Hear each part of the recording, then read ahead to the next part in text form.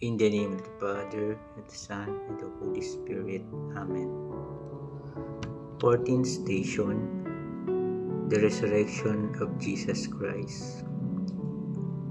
We adore you, O Christ, and we bless you, because by your holy cross you have redeemed the world. A reading from the Holy Gospel according to St. Matthew. After the Sabbath, towards dawn, on the first day of the week, Mary Magdalene and the other Mary went to visit the sepulchre. And all at once there was a violent earthquake, for the angel of the Lord, descending from heaven, came and rolled away the stone and sat on it. His face was like lightning his robe white, his robe white as snow. The guards were so shaken and so frightened of him that they were like dead men. But the angel spoke and said to the women, There is no need for you to be afraid. I know you are looking for Jesus, who was crucified. He is not here, for he has risen as he said he would. Come and see the place where he lay. Then go quickly and tell his disciples, He has risen from the dead, and now he is going before you to Galilee. It is there where you will see him. Filled with awe and great joy, the women went quickly away from the tomb and ran to tell his disciples. And there, coming to meet them, was Jesus. Greetings, he said. And the women came up to him and falling down before him, clasped his feet. Then Jesus said to them, Do not be afraid. Go and tell my brothers that they must leave for Galilee. They will see me there. Gospel of the Lord. Praise to you, Lord Jesus Christ. Reflection Our hearts throb so differently when we meet good old friends. We smile so sweetly when we gaze upon a person we love. Jesus is risen from the dead.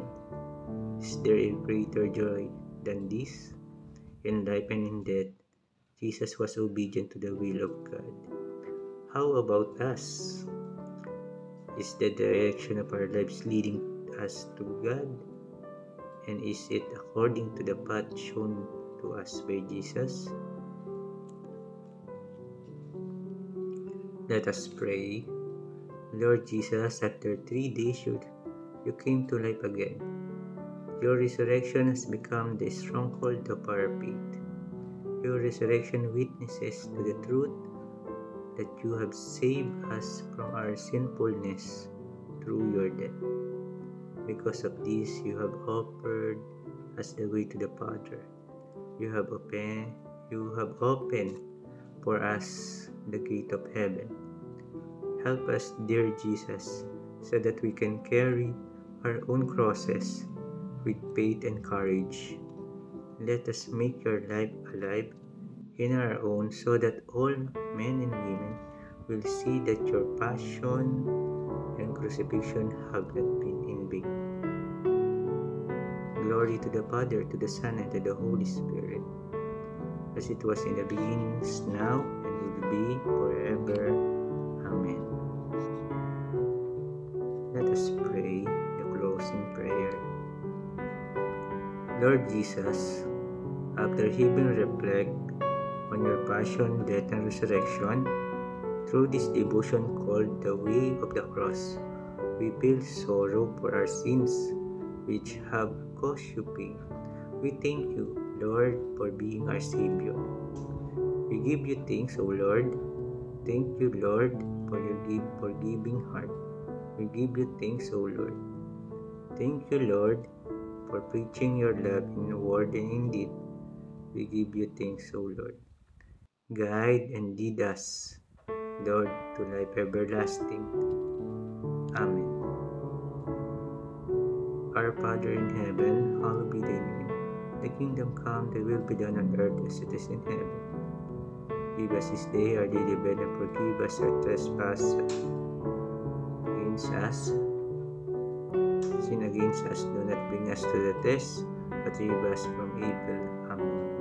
Hail Mary, full of grace, the Lord is with you. Blessed are you among women, and blessed is the fruit of thy womb, Jesus. Holy Mary, Mother of God, pray for us sinners, now and at the hour of our death. Amen.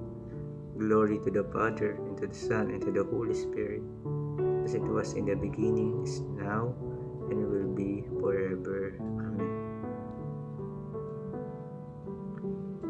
In the name of the Father, the Son, and the Holy Spirit. Amen.